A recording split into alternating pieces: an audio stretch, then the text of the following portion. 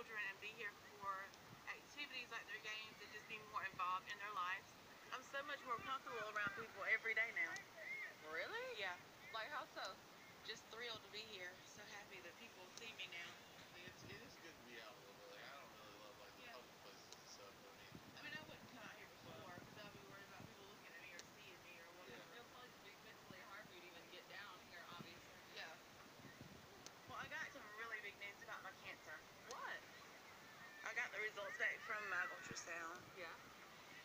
sister has stopped growing.